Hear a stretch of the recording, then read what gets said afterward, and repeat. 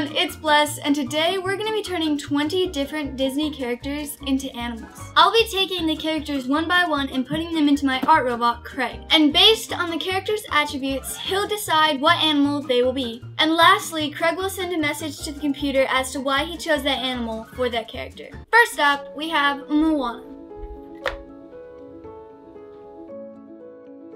Okay, so we have a sea turtle. A sea turtle for Moana. Eh, I don't know. It doesn't look a lot like Moana. I feel like Moana is just like out there, more like a dolphin maybe. This baby, it's adorable. I'm not saying that Moana's not adorable. This baby is so innocent. And Moana, I feel like she's just like out there and she's just like, she can do everything herself. So we'll read off the attributes now.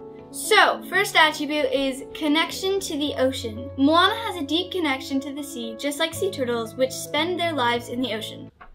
Okay. Next one is wisdom and guidance. Sea turtles are often seen as wise and ancient creatures, which aligns with Moana's journey and the guidance she receives. Endurance. Both Moana and sea turtles display endurance in their quests, with Moana's determination and sea turtles' long migrations. Okay, I can maybe see her as a sea turtle. I think I can. Next, we have Flynn Rider. Okay, it's a German Shepherd. It's so cute, I like it. So, Flynn Rider is a German Shepherd, I can see that. I can see that. It looks like Flynn Rider, so as a, as a dog, obviously. Yeah, let's read the attributes now. The first attribute is loyalty. German Shepherds are known for their loyalty, just as Flynn Rider becomes loyal to Rapunzel in Tangled. Protective nature. German Shepherds are protective of their loved ones, similar to Flynn's protective instincts. Intelligence. Both Flynn and German Shepherds are intelligent and resourceful. I, I, I don't know. I was thinking more of like a yeah, German Shepherd's about right, actually. Next up, we have Cinderella.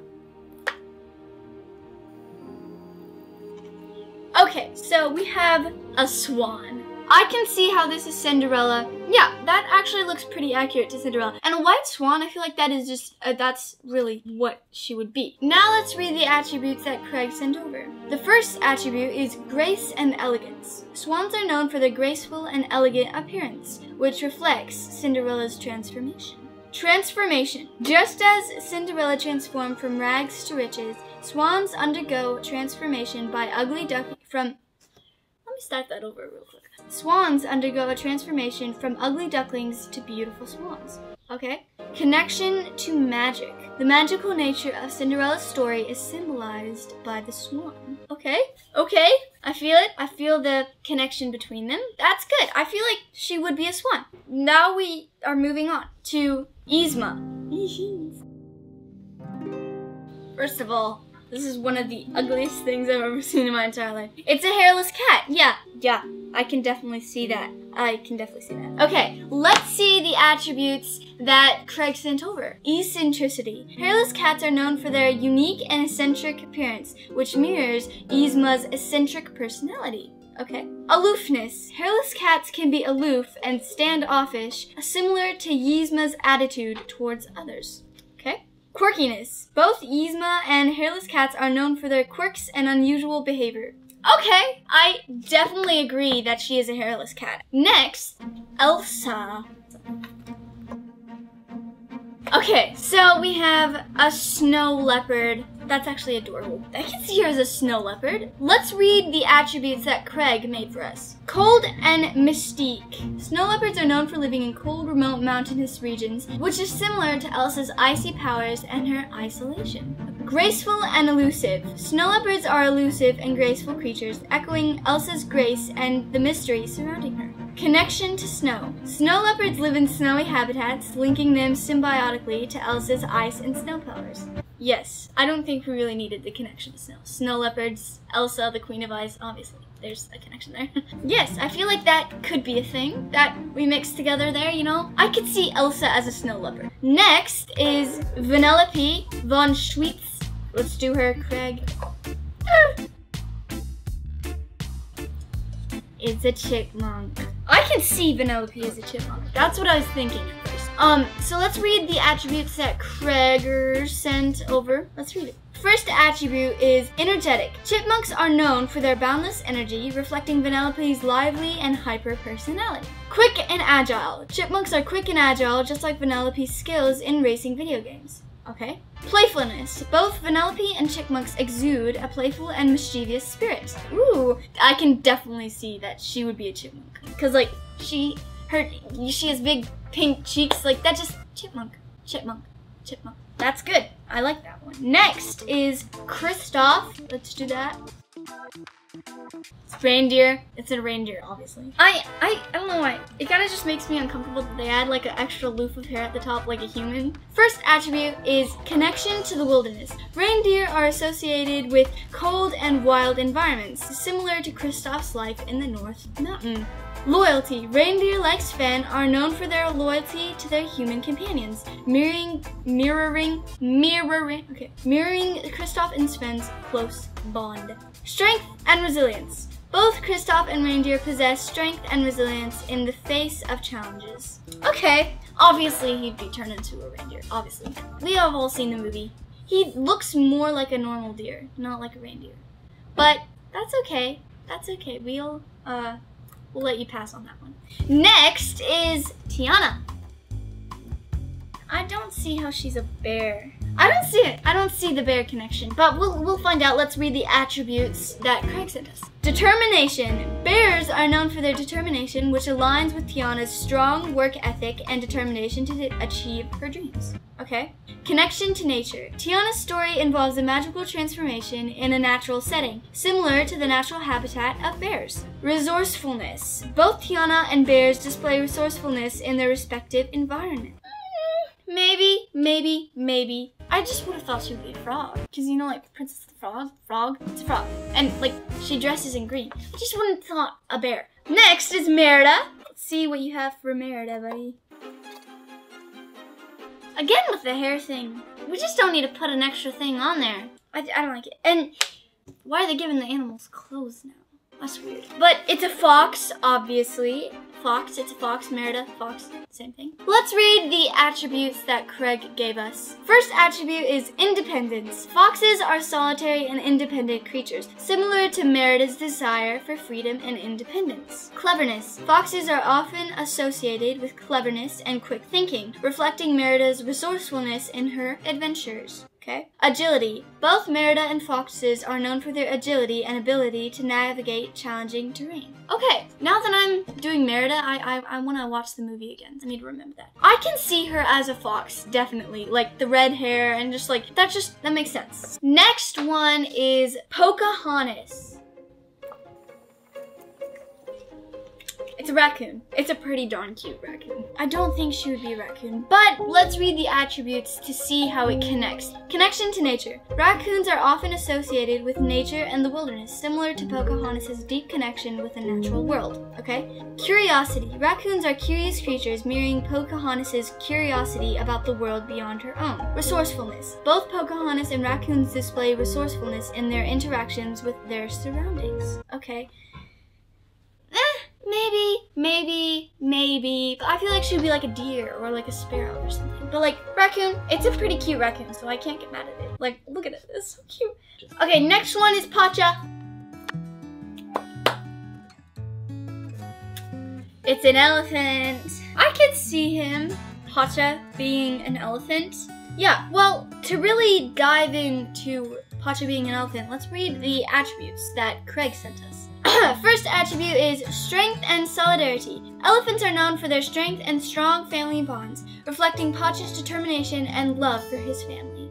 Gentleness. Despite their size, elephants can be gentle and kind, similar to Pacha's friendly and caring nature. Resilience. Both Pacha and elephants display resilience in the face of challenges and adversity. Okay, I could definitely see Pacha being an elephant, but he could also be a bear. Next up is Miguel from Coco. Okay, it looks like it's a golden retriever. I can see that. For the most part, I can see him being a golden retriever. Let's let's read the attributes. First attribute is loyalty. Labrador retrievers. It's a Labrador retriever. First attribute is loyalty. Labrador retrievers are famous for their loyalty and affection, just like the strong family bonds in the movie Coco. Playfulness. Labradors are known for their playful nature, mirroring the joyful and musical themes in Coco. Connection to family. Both Miguel and Labradors emphasize the importance of family connections and traditions. Okay, I can see Miguel being a Labrador retriever. Okay, next one is Mirabel from Encanto. Okay, so we have a dog from Mirabel that its name is apparently Lhasa Apso. Correct me if I'm wrong, but let's read the attributes. Loyalty. Lhasa Apsos are loyal and protective of their families, similar to Mirabel's loyalty to her family in Encanto. Small but mighty. Lhasa Apsos may be small in size but are known for their determination and bravery, reflecting Mirabel's courage, charm. Both Mirabel and Lhasa Apsos have a charming and endearing presence. Yes, that is a very adorable dog. I like it. I could see Mirabel being a small dog. I can see that. Can't you? Tell me. Um, okay. Um, next one is Snow White. Snow White. Same thing. Why give a deer hair and lipstick? That's just weird. That just makes me kind of uncomfortable. But it's a deer, so let's read the attributes. the first attribute is innocence and gentleness. Deer are often associated with innocence and gentleness, much like Snow White's kind and pure-hearted nature. Connection to nature. Snow White's story involves her living in the forest with woodland creatures, including deer, emphasizing her bond with nature. Gracefulness. Both Snow White and deer are known for their grace and beauty. Okay, why give the deer hair and lipstick? That's just kind of weird, you know? Like, if she was a deer, she wouldn't need to put on lipstick. She wouldn't need to grow black hair. Like, if the rest of her hair is brown, why would she just all of a sudden grow black hair? That's kind of weird. Next is Aurora. Aurora. Aurora. Okay. Now this one's just weird. It's a dove, apparently. I didn't know birds had shoulders. Let's read the attributes. Peace and harmony. Doves are symbols of peace and harmony, reflecting the peaceful nature of Aurora's character. Dreamlike quality. The story of Sleeping Beauty has a dreamlike quality, which is symbolized by the presence of doves in the film. Love and romance. Doves are often associated with love, mirroring the central theme of true love's kiss in the movie. Yes, that makes sense. That makes sense. My one and only problem with this, why give the dove hair? Why make it be wearing a full ball gown? Like, if she was a dove, she wouldn't need to care about those things. That's just weird. Can birds grow full heads of hair? Apparently, they can. Next, Belle. Okay, so it's a horse. Now this one I can see, it's a mane, not hair. Okay, so I can see why this one would have hair. But it doesn't really look like Belle. I feel like she wouldn't be a horse. I just, I don't think she would be. So let's read the attributes that Craig gives us. First attribute is intelligence. Horses are known for their intelligence and sensitivity, which aligns with Belle's love for books and her curiosity. Grace and elegance. Both Belle and horses are associated with grace and elegance, reflecting Belle's beauty and refinement. Adventure. Horses are often used for adventure and exploration, similar to Belle's desire for adventure beyond her small village. Okay, that makes sense. But like, would she be a horse? I think maybe there's a possibility where we can work it out. Next is Ariel. Okay. it's in, it's a, a, a dolphin. I'm, it's a dolphin. that hair, woof, Da. I don't know. Dolphins just make me really self-conscious about my forehead. Um, no, no, no, I don't feel the hair. I do not feel the hair. Dolphins can't grow hair. Let's read the attributes, see if it has an explanation for this madness. Um, the first attribute is connection to the sea. Dolphins are marine creatures, reflecting Ariel's fascination with the underwater world. First of all, let me cut in here. She's a mermaid. She doesn't have a fascination with the underwater world. She has a fascination with the human. world. okay. Um, playfulness. Dolphins are playful and curious animals, mirroring Ariel's adventures and spirited personality. communication. Dolphins are known for their complex communication skills, similar to Ariel's desire to communicate with humans. The hair is making me kind of biased at the moment, and I don't feel, I don't feel it. I don't just like feel the tug, you know? I don't feel it. Next one is Anna. Anna. Anna. A golden retriever. I can definitely see Anna as a golden retriever. It just speaks to me. Let's read the attributes and see, well, the attributes. ah, the first attribute is energetic. Golden retrievers are known for their energy and enthusiasm, similar to Anna's lively and outgoing nature. Loyalty. Golden retrievers are loyal and devoted, reflecting Anna's loyalty to her sister, Elsa. Warmth and affection. Both Anna and golden retrievers exude affection and a friendly disposition. Yeah, like I said, I can definitely see Anna as a golden retriever. Yeah, I think it's just because they didn't give her hair. they gave her hair, but like not human hair. So let's move on. Next one is Prince Naveen from Princess Snowfall. This one's really creepy. ah, it's Peacock for Prince Naveen.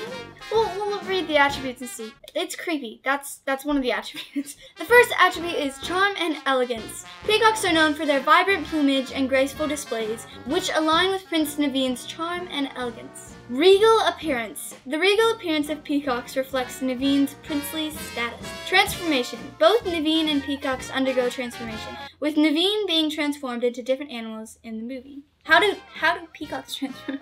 I mean, their it can't be their tail. They always have their tail, so everybody knew it was there. So it wasn't really a transformation. But like, I don't know. But it doesn't really make any sense, and it's creepy. So I don't like that one. Next one, I mean, last one, is Wreck It Ralph. Ralph it's a gorilla with really small ears. I'm surprised. I, I would have just thought it would be more ear.